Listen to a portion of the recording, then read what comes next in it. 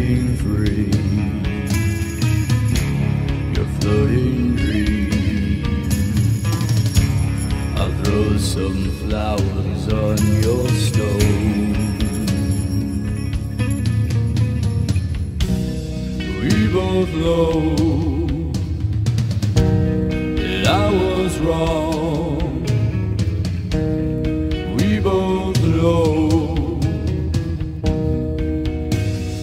Not like that anymore.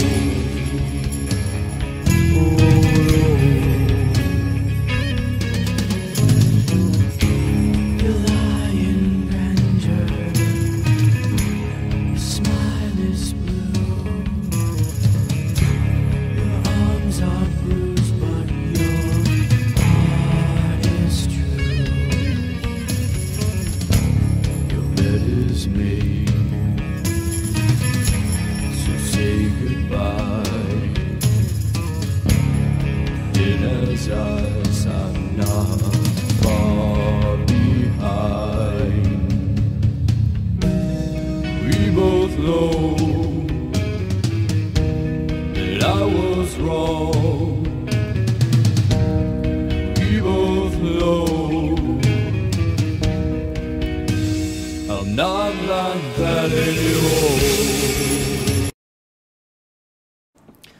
All right, guys, and we're here to get this uh, evidence clip out for you. You yes, know, we are. we're talking about a uh, a couple of pieces of evidence from some of our recent, within the past year or so, investigations. Mm-hmm. Um, one being our most recent time out at the Everett Road covered bridge. Yes. and we have two clips coming from that.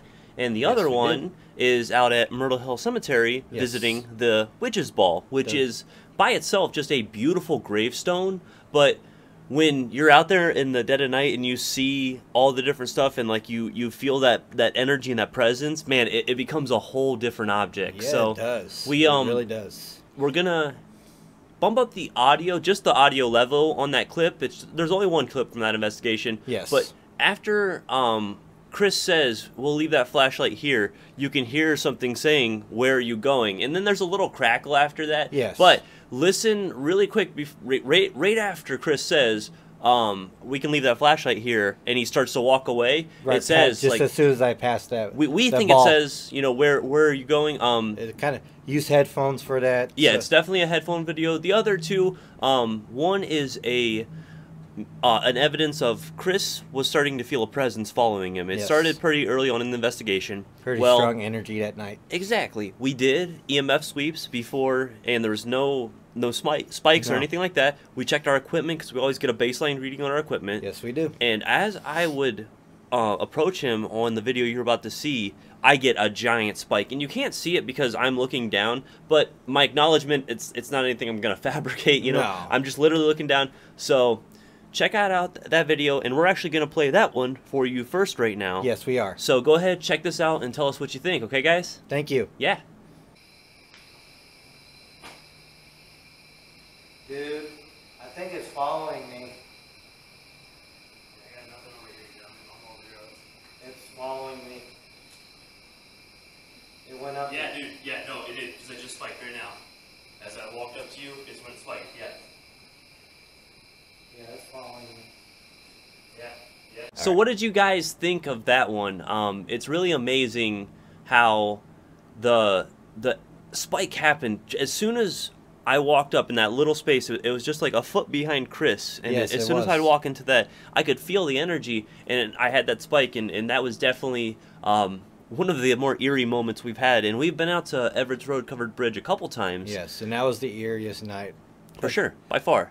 Yes, it was. And it also led to this next clip you're about to see, where later on in the investigation, this is after we had uh, already acknowledged that the thing was following Chris. This Yes, is it was. Uh, after that. So in the top right corner of the screen, and I'll throw like a little arrow pointing to the area so you can Yep. see what we're talking about. But um, there's uh, there's a an, an orb, and we we normally don't talk about orb stuff No, we or, or acknowledge too much orb stuff as like actual evidence because there's so many things. We watch the bugs, we watch the dust particles, and that was happening all night, and this was a perfect sphere. Perfect. and um, it wasn't really a dusty night because it was No, very it rainy and most of everything had kind of settled down dust wise. Yes. So, um, yeah, tell us what you think of this little video. Uh, it's a quick one. I'll play it probably like once or twice, maybe slow it down a little bit on the second one. And uh, yeah, just let us know what you think of this one, guys. Thank you. Yeah. Are you next to me?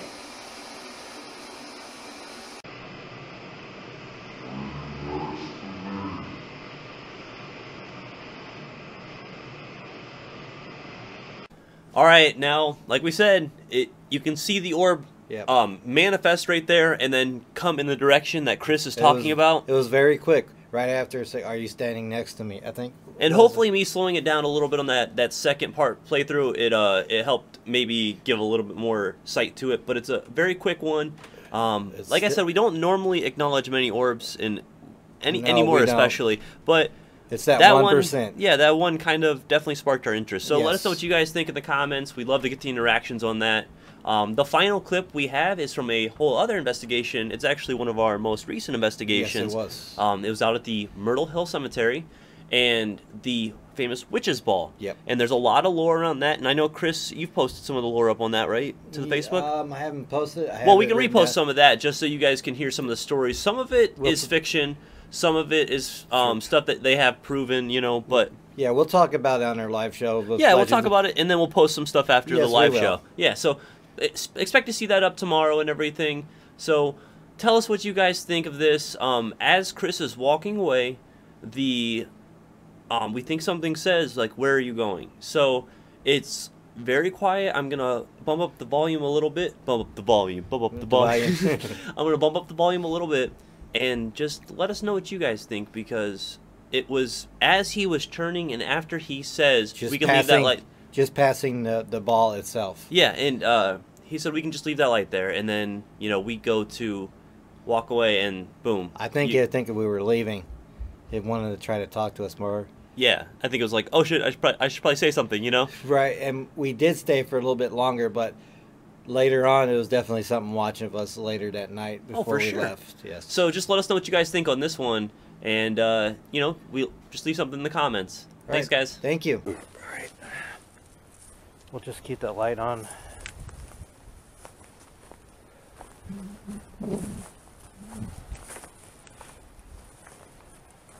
All right. We'll just keep that light on.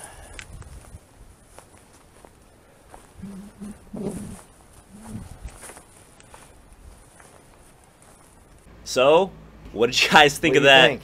I mean, that was definitely one of uh, the the harder to listen to, but you gotta you gotta really hear it. If I played it back a couple times, and after the second or third time, man, I could really hear it plain as Right. day. I so. had to cut play it a couple times with my headphones on. The only thing is, it goes into that crackle, so it's a little hard. Yes. And I'm sorry, I did bump up the audio, so make sure you're being careful with your headphones. Don't go too loud. No, but we you, don't you can definitely hear it. You know, um, and just let us know what you guys think about that one.